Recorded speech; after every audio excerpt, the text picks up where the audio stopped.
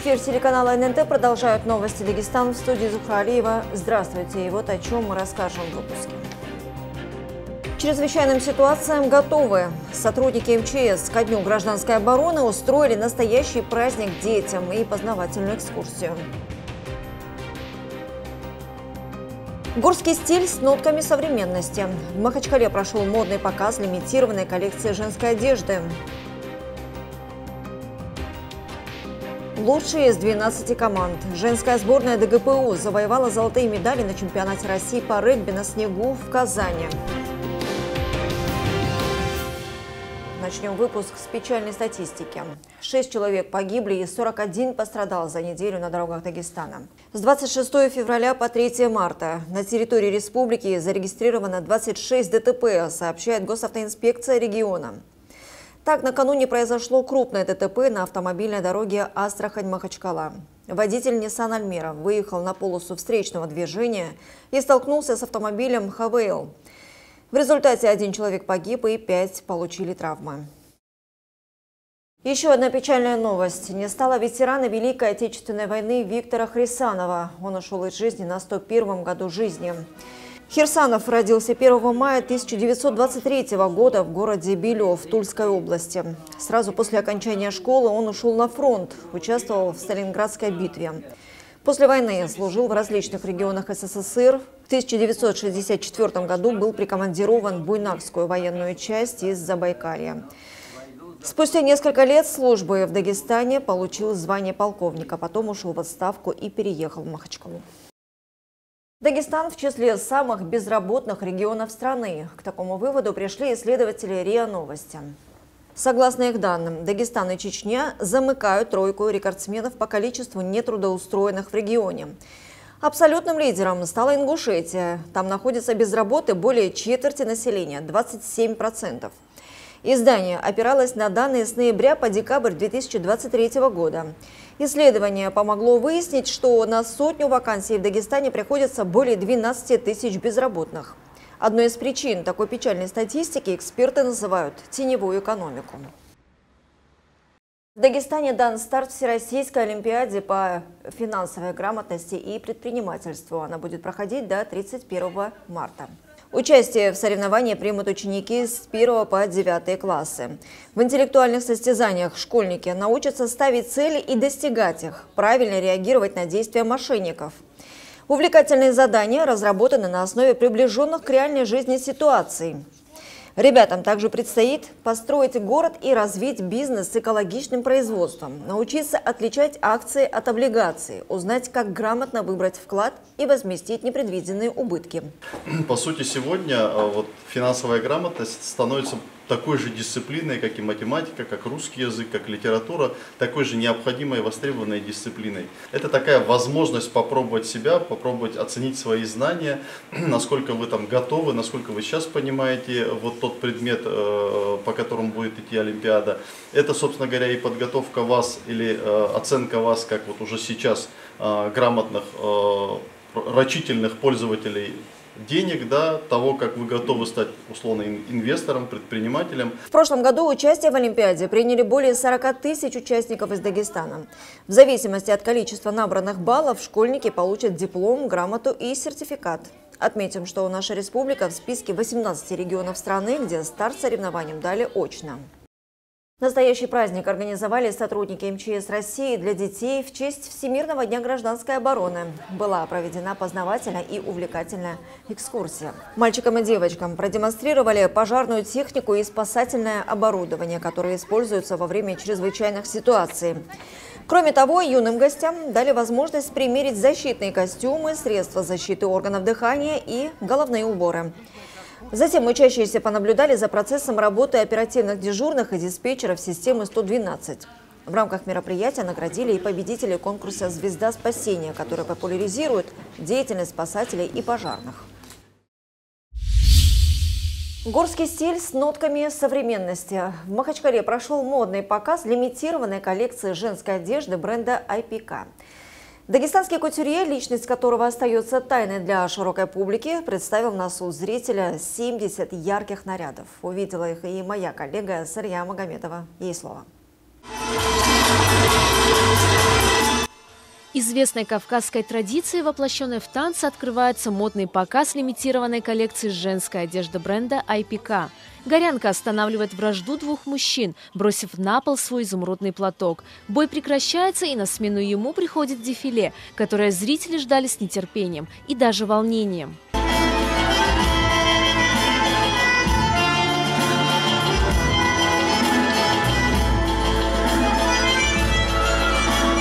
Горский стиль с нотками современности, отголоски прошлого в настоящем. Именно так характеризует свою новую коллекцию дизайнер, личность которого тайна для широкой публики. Платья, блузы, юбки, брюки, пиджаки и широкие накидки – все это выполнено из струящихся тканей разных цветов. Каждый образ гармонично дополняет хиджаб и этнические изделия. Гости высоко оценили наряды и работу модельера, да и в целом организацию мероприятия. А я общался до, а, еще до мероприятия за несколько дней с организаторами и понимал, что они готовят нечто особенное для всех, кто придет. Вот все, что было закрытое, красивое, а, вот с элементами дагестанского, вот этого всего вкусного, это все смотрелось шикарно. Я для себя выбрала несколько нарядов, которые, я надеюсь, узнают нашего модельера, да, я хочу взять это обязательно для себя. Вот, у меня уже появились какие-то идеи, как это можно красиво преподать. В общем, мне очень понравилось. Мне нравится, что на самом деле дагестанские дизайнеры из года в год становятся все более свободнее, все более, а, скажем, креативнее в нарядах. И мне нравится, что все-таки дагестанские дизайнеры пытаются сохранить какие-то элементы дагестанской национальной одежды в современных нарядах. В данное время тенденция дагестанской именно культуры, она как никогда актуальна. И приятно, что есть такие люди, которые сейчас нашу культуру, наши традиции отображают в стиле одежды. Это удобно, красиво, и я думаю, все эти зрители оценили, и эти овации, которые здесь были, не оставили никого равнодушными. Изюминкой модного показа стали сами модели, которые украшали образы своей натуральной красотой. Такова была задумка дизайнера – показать публике, что сейчас в тренде естественность. 36 девушек продемонстрировали 70 нарядов. Национальные и современные, повседневные, вечерние и деловые. Было представлено и 7 мужских костюмов. Это своего рода задел на будущее. Бренд IPK расширит производство и будет выпускать также одежду для представителей сильного пола. Как видите, на мне костюм одной из народностей Дагестана. Это гумукский национальный костюм. Вот. И я очень волновался, так как это был первый показ, но вроде прошло все хорошо. Дизайнер был очень понимающий, он, она с нами советовалась, какие нам образы подобрать, такое, учитывала наши желания а в цветах там подобное. У меня были очень красивые наряды. Как вы можете заметить, первый наряд у меня тоже был такой насыщенный, э, бирюзовый. А мне наряды очень понравились. К слову, проведение этого мероприятия доверили Бюро организационных модельных показов Diamond Look. И это не случайно, ведь у компании есть хороший опыт работы в этом направлении не только в Дагестане, но и за его пределами. Я рад, что мне посчастливилось организовать весь этот показ. Какая бы усталость ни была, все, когда уже проходит, мы уже понимаем, что все прошло на высшем уровне. В следующем месяце Diamond Look проведет показ женской одежды в Москве и представит столичной публике наших модельеров. Организаторы уверены, что дагестанские дизайнеры готовы заявить о себе на всю страну. Салия Магомедова, Шамиль Хириасулаев, Мурат Бигбарзов, Новости ННТ, Махачкала. Почти 10 тысяч человек объединил Маджлис богословов Дагестана, который состоялся в минувшие выходные в столице республики. Муфти региона, мэр города, имамы, богословы и доктора исламских наук затронули актуальные вопросы. Кульминацией мероприятия стала жеребьевка пяти путевок на Малый хадж Умра. Подробнее в сюжете Хамзу Нурмагомедова. إن الله يغفر الذنوب جميعا إنه هو الغفور الرحيم Чтение Корана, Мавлиды и, конечно же, выступления ученых-богословов. Просветительское мероприятие такого масштаба впервые прошло в Махачкалинской мечети имени Аляхажи Акушинского. Такие дни можно назвать праздничными днями, когда мусульмане разных районов, разных наций разных слоев общества, когда все встречаются, объединяются в таком баракатном маджлисе. Такие баракатные маджлисы служат вот этому объединению, баракату. В них бывает особая милость Аллаха. К нему стягиваются к таким маджлисам ангелы, и те маджлисы, естественно, где есть ангелы, для людей тоже большой баракат. На маджлис съехались имамы и ученые с разных районов республики. Главным гостем стал муфти Дагестана Шейх Ахмад Афандия. На мероприятии говорили о духовных болезнях подрастающего поколения, в том числе наркомании, участившихся убийствах и суицидах. У детей бывает возраст, когда ответ родителя самый авторитетный для ребенка. Эта вещь из виду упускают большая часть родителей – не упускайте это. Когда именно ваш ответ самый авторитетный и нужный для ребенка. И вы каждый раз, когда ваш ребенок к вам подходит, задавайтесь вопросом, быть может, этот вопрос вашего ребенка станет решающим его судьбу. Какие бы важные у вас дела не были, мы советуем, отложите на второй план, дайте ответ ребенку. Не игнорьте ребенка. Как обычно принято у некоторых родителей, иди играй, не мешай. Или же устал с работы, своими делами займись, потом отвечу. Не делайте это, это очень большая ошибка.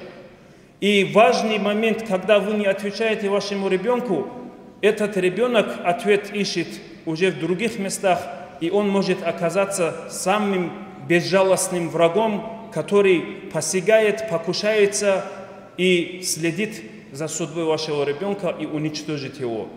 Мэр Махачкалы также посетил мероприятие. Он сообщил о проводимой работе по благоустройству города и выразил благодарность муфтиату за огромный вклад в оздоровление общества. Сегодня на самом деле то, что делается муфтиатом, лично муфтием Ахмад Афанди, вам большое спасибо еще раз, что вы делаете то от, до меня, которое было выступление, доклад, обращение воспитательного характера эти э, такие речи, такие наставления нам очень нужны сегодня. Мы видим, как сегодня ведет себя молодежь, чтобы этот молодежь как бы усмирить, чтобы они вели себя богобоязненно и праведно, чтобы эти люди были законопослушными, в рамках закона осуществляли свою деятельность, жизнь проводили и в городе, и дома, в быту, везде. Это большая работа, которая делается. Еще раз хочу поблагодарить Город, город нуждается в таких наставлениях. Выступление муфтия Дагестана было завершающим. Шейх призвал благодарить Аллаха за те блага, которыми он нас одаривает. В первую очередь за возможность проводить подобные мероприятия и обучаться полезным знаниям. Я бы попросил каждый день, чтобы мы благодарили Аллаха за то, что и в этом дне, что Аллах нам дает возможность говорить про ислам, обсудить как развивать, думать, потому что молодые не знают, говорят, в 1937 году это мечети, обычно же везде, в мечетях же проходило обучение, так, таковых медресе не было. Вечером они урок завершили, ночной намаз сделали. Утром, когда на утренний намаз приходили, уже на мечетах висят замки. Неожиданно. Поэтому вот это утро мы не должны забывать. И каждый день, как будто заново родились, каждый человек, ну я призываю, конечно, чтобы мы благодарили Аллаха, и как будто заново родился, родился, чтобы он хорошо, не жалея себя, работал в деле распространения ислама. Это очень важно.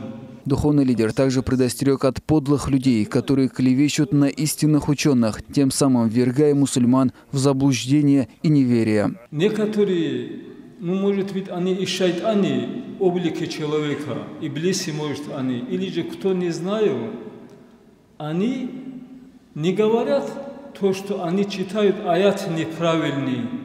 Они не говорят то, что они читают хадис неправильный. Они говорят, эти алимы плохие. Просто сомнения сеют их праведности. А я призываю вас, чтобы таким шайтанам вы не верили. Я говорю, у вас же голова есть. Что для тебя хорошо, что для тебя плохо, ты же должен знать. Мутаалим, который у меня учился, перешел Ботлих, один медресе, и когда я видел Ботлиха, он меня видел, он меня попросил, ну, где они учатся, вот эту комнату посещать. Я зашел туда, и они мне говорят, вот говорит, друг друга, говорит, исламские люди враждуют, плохо относятся. И ну, было бы, говорит, хорошо объединиться. Но я говорю, если обычных мусульман обвинят в неверии, в купру, как говорю, с теми людьми дружить, связь держать.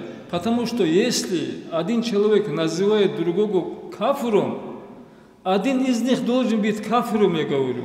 Или тот, кого назвали, или же тот, кто назвал. Потому что, я говорю, так не, бесследно это не уходит. Я говорю, вахабисты наших людей обвиняют в неверии. Я говорю, мы верующие люди, мы Всевышнему сотоварища тоже не даем, не предаем. А почему мы должны вот это терпеть и согласиться этим? Ему это мои слова понравились.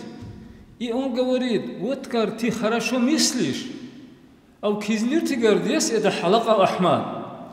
Он говорит, не так мыслит. Ты, говорит, хорошо мыслишь, а халака Ахмад плохо мыслит. Он меня в жизни не видел. А меня обвиняет, что я вот такой человек. Вот на каком основании мусульман делят, не зная. Поэтому, прежде чем обвинять кого-то, Хоть надо же спросить. Муфти также сказал о двойных стандартах представителей вагабизма, которые не к месту в качестве своих ложных убеждений приводят цитаты из Корана и хадисов. Полуваххабисты и вагабисты говорят же, просить помощи людей нельзя. Говорят же они так. И если будешь просить, ты в ширк попадешь. «Иза саалта фас алиллах».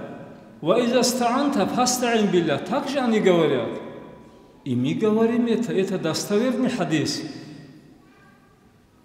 но когда их касается это хадис они забывают 10-15 лет тому назад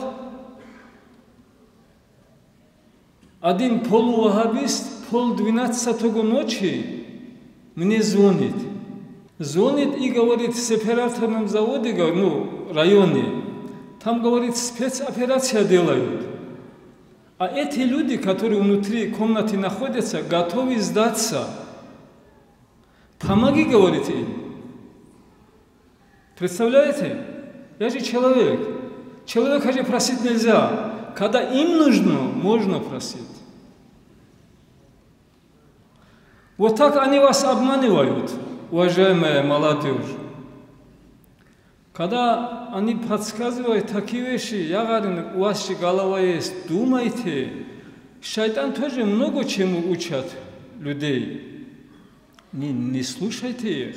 Шейх также перечислил некоторые духовные болезни общества, и в качестве эффективным лекарством от них является путь тасауфа. Это помогает следовать шариату, в том числе приобретать добрые качества.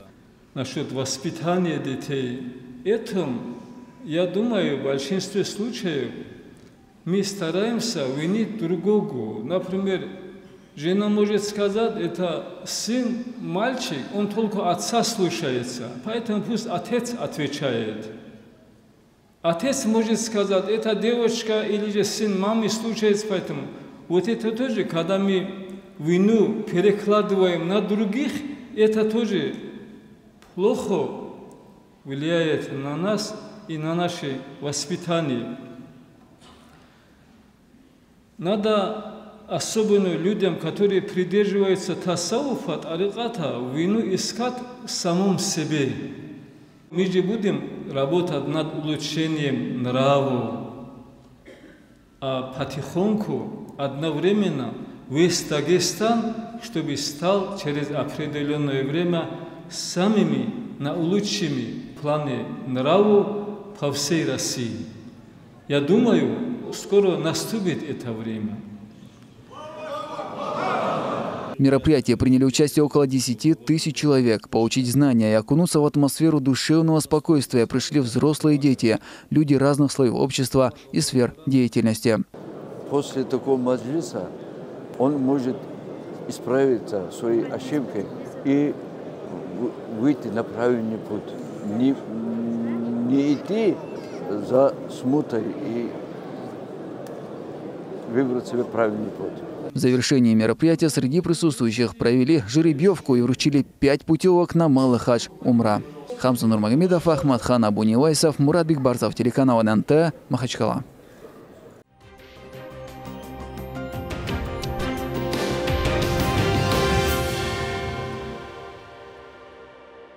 И о спорте. Женская сборная ДГПУ завоевала золотые медали на чемпионате России по регби на снегу в Казани. За победу в турнире состязались 12 команд. Дагестанские спортсменки поочередно обыграли команды Волгоградского госуниверситета, Казанского медуниверситета и Казанского национального исследовательского технического университета. В финале наши регбистки были сильнее сборной Поволжского университета физической культуры, спорта и туризма. Счет встречи 7-1. 2012 медалей, из которых 716 золотых добыли дагестанские спортсмены на соревнованиях различного уровня в 2023 году. Такие цифры были озвучены на заседании коллегии Минспорта Республики по итогам прошлого сезона. Говорили о значимых достижениях минувшего года и планах на текущий. Одна из самых приоритетных задач – подготовка и успешное выступление наших спортсменов на летней Олимпиаде в Париже. Полного понимания, ясности нету насчет участия российских спортсменов на Олимпийских играх. Я не знаю пока мог, что конкретно какое решение примет. Они все затягивают и придумывают всякие новые, наверное, препятствия для наших спортсменов, чтобы не допустить. А так, конечно, это традиционно, это борьба. Я думаю, бокс, Планируем в этом году шансы есть хорошие попадать и не только по вольной борьбе, и по греко-римской борьбе. Наши ребята могут попасть на Олимпийские игры. Среди приоритетных направлений Минспорта было и остается развитие массового спорта. Эта работа позволила привлечь к занятиям физкультурой более полутора миллиона жителей республики, то есть 58% от общего населения в возрасте от 3 до 79 лет. Кроме того, одним из важных направлений в министерстве считают работу по духовно-нравственному воспитанию молодежи. В завершение награды и ведомственные грамоты получили работники физкультуры и спорта, проявившие себя в 2023 году. Смотрите нас также на нашем телеграм-канале. А у меня на этом все. Добрых вам новостей и до встречи.